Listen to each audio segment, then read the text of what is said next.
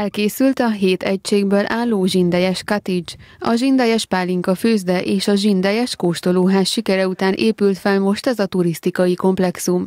A pálinka turizmus sikerességét jelzi, hogy a kóstolóházat tíz év alatt már 16 ezer látogató kereste fel. A mostani beruházásnak a terve már tíz éve elkészült, a megvalósítása 14 hónapot vett igénybe. 130 fő tudunk leültetni az asztalokhoz. Megvalósult egy olyan szálláskomplexum, amiben 12 szoba van, pontosabban 12 szoba, illetve egy apartman tartozik hozzá egy tájházként, de mind teljesen autentikus, mondjam azt, hogy hiteles környezetet próbáltunk felépíteni, de ugyanakkor a mai kor követelményének megfeleljen. Tehát van egy szállással kapcsolatos komplexum, megépült egy olyan mm, bemutató épület, bemutató ház, ahol az 1984-ben üzembe helyezett pálinkafőzőt kvázi újraépítettük, április 22-én nyugdíjba lett vonultatva, és annak a múzeális, múzeális értékké vált. Hát egy interaktív múzeumot próbálunk ott kialakítani belőle, illetve a hetedik része a, a, a mesterséges tón kívül egy Szent Miklósról elnevezett kápolna, ami május 26-án lett felszentelve.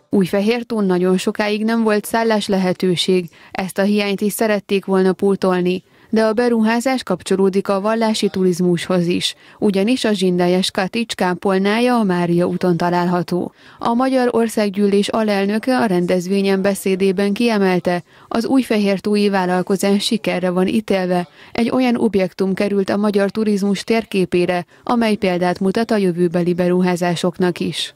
Tudom, mit jelent megküzdeni a három aranykoronás homokon az életért, mekkora kreativitás, mekkora elszántság, mekkora erő, energia kell ahhoz, hogy ott alkossunk. Az életben benne van a szép, csak meg kell látni.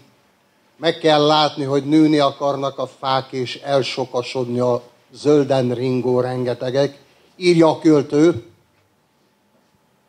Pap József és családja Kecskés családdal együtt nem csak meglátta a lehetőségeket, nem csak megérezte a lehetőségeket, amit ez a gyönyörű vidék, egyébként ez a, a komoly feladatot adó vidék ad az ember számára, hanem meg is létre is hozta azt az alkotást, ami az ő képzeletében már akkor ott volt, amikor méregette, hogy mit lehetne kihozni ebből a gazdaságból, ebből a környezetből. A rendezvényen az agrárminiszter köszöntőjében úgy nyilatkozott, a zsindejes cottage annyira illeszkedik a környezetbe, mintha mindig is itt lett volna. Ez lehet majd a sikerességének is egyik fő oka. Valahol együtt van jelen a múlt, a jelenben, egyúttal a jövőt is átérezve.